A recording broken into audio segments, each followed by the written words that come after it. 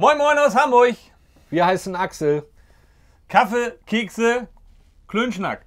und es geht um Straßenlaternen, um Umis, um Toiletten, Und einen 74-jährigen LKW-Fahrer und... Bewerbungsgespräche am Sonntag. Ah, Dranbleiben. ja. Bleibt dran!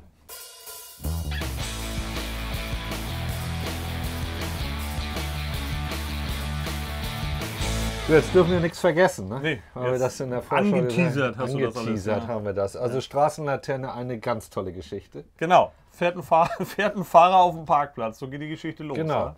Und denkt sich, da ist eine Straßenlaterne. ja. Und dann? Er, er hatte zufällig den richtigen Schraubenzieher dabei, hat unten dann mal die Straßenlaterne aufmontiert, hat ein Kabel rangehängt, hat den sich an den LKW montiert.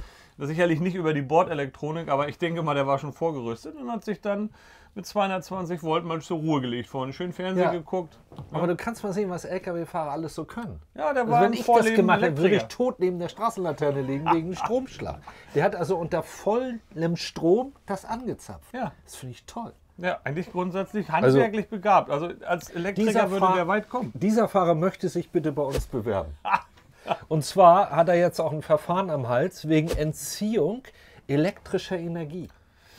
Ja, Bei uns weil er nämlich über Nacht erwischt wurde, weil die Polizei vorga- vorbeigelaufen ist und gedacht, was ist das für eine Verbindung zwischen Straßenlampe Was ist und das für ein LKW? Kabel? Ja, und jetzt hat er ein Problem. bei uns wird er eine Prämie kriegen, ne? Wegen Stromeinsparung. Zumindest unseren Strom. Ja, natürlich, klar. Wegen Standheizung. muss Stand er- also alles aus, hat höchstwahrscheinlich so einen kleinen Heizkörper gehabt, Ja. 220 Volt. Ja, grundsätzlich Hat die. Kollegen zur Sauna eingeladen im Fahrerhaus? Naja, gut. Gut, jetzt geht es um Bewerbungsgespräche bei der DHL. Die Ja. DHL hat geladen und äh, sieben Bewerbung. Bewerber sind gekommen, Axel, Ja. aber war zu. War zu, war am Sonntag. Sonntag, ja. Standen die dann vor verschlossenen Türen. Und äh, ja, haben Mhm. Der, der geladen hat, hätte wahrscheinlich das Bewerbungsgespräch zu seiner Einstellung nicht bestanden, Ja, ja. weil er sich im Datum vertan hat, hat die Bewerber sonntags eingeladen und nach 40 Minuten sind die erst gegangen. Ja, da kannst du mal sehen. Die sind am Sonntag gekommen und haben 40 Minuten gewartet. Also die, die hätten eh nicht bei der Post anfangen können, weil mit solchen Leuten können die da gar nichts Nee. anfangen, weißt du? Und dann hieß es ja später, ja, wir haben die Leute angeschrieben und ähm, die hätten ja dann auch sehen können, dass das Datum falsch ist. Ja. Sie Grundsätzlich denn ist- auch noch sagen, sie haben keine Schuld. Finde ich, find ich super, wenn einer kommt am Sonntag, weil du sagst, ich habe sonst keine Zeit für Bewerbungsgespräche, jetzt kommen die schon. Ja, auch die sieben Leute mögen sich bitte bei uns melden. Genau. Ja, auch am Sonntag, wir kommen dann raus. Ne?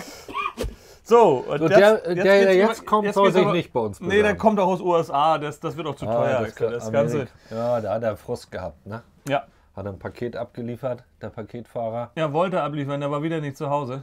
Und dann haben Überwachungskameras äh, aufgezeichnet, wie er das, äh, das Paket sich schön vor den Vorderreifen gelegt hat. Einmal drüber, nochmal drüber. Und Mit dann mit Anlauf. Anlauf nochmal drüber. In dem Paket war eine Fernbedienung für den Fernseher, die war danach noch flacher als vorher. Ja, war ein ganz neues Modell. Äh, Ja. Amazon hat das Ding äh, ersetzt Ja. und was mit dem Fahrer ist, äh, Weiß man nicht. weiß man nicht. Aber bitte, Nicht bei uns bewerben. Auch nicht in don't, unser das ist ein Ami, amerikanischen. don't, don't call us. Ja. So, der nächste ist ja sehr. Ja, Ja, was Arbeitet ist das? ja ist sehr das traurig oder ist das lustig, Axel? eigentlich ist es traurig. Ja.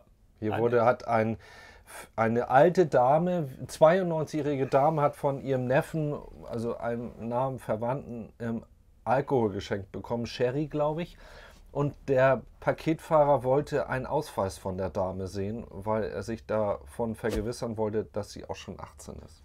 Harvey's Bristol Cream Sherry. Ja, der ist lecker. Ja, das leckere Habe Zeug. ich mir gekauft zur Vorbereitung für die heutige Sendung. Ja. Man muss ja auch so reinkommen. Naja, na klar. Und du hattest ja auch einen Ausweis dabei, aber Ja. der hat ganz klar hart gesagt, auch bei der zweiten Anlieferung, als sie ihm irgendeinen Ja, Busausweis hatte sie nur einen Busausweis. Ist kein Lichtbild drauf, steht ja. bei mir nicht drauf. Richtiger Ausweis mit Namen. Adresse und Bild, sonst kriegst du das nicht. Also, da Also- kann man auch 92 sein.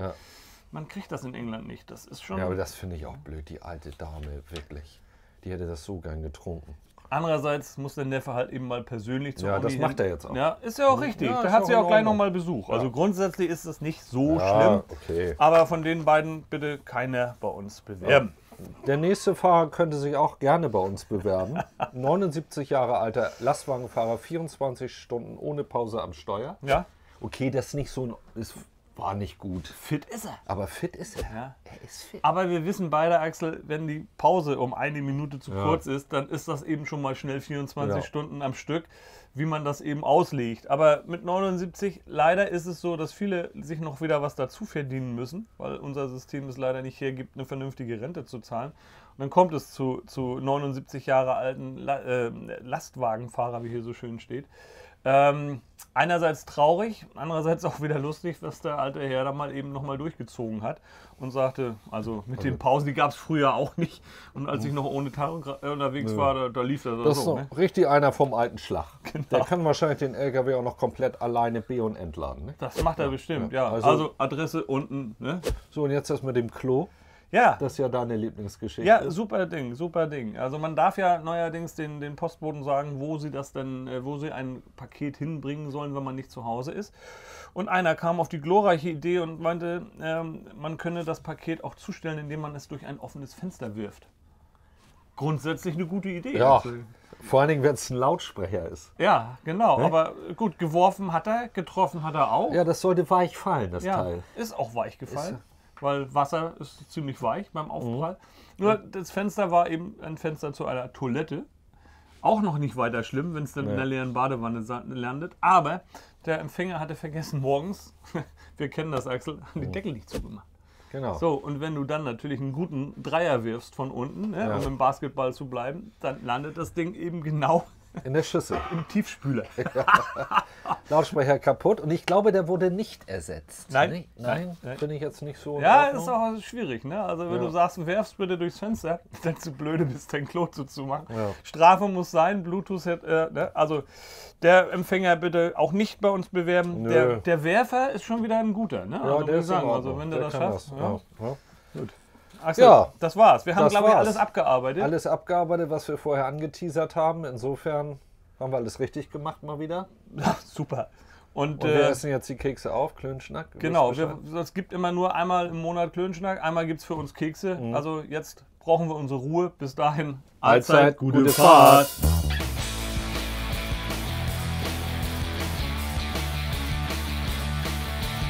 Es wird haarig, es wird dreckig, es wird. Ja, ist gut, habe ich verstanden. Komm, mach einfach. Mein Gott, immer dieses Gemecker, wenn man mit denen mal was sagt. dran. Wir kommen Wie weiter. kleine Mädchen. Mensch, die Uhr läuft, wir müssen Geld verdienen. Bleiben Sie dran, ich pfeife auf Sie. Szene 5, Take 1, Clap.